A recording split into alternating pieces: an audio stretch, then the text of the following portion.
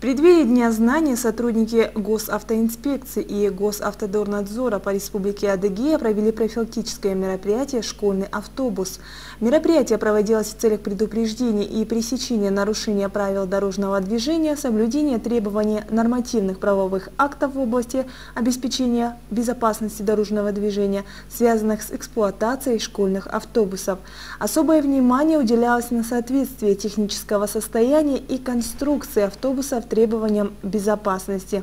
Всего было обследовано 14 автобусов, готовность которых безопасно и комфортно перевозить школьников была подтверждена полностью.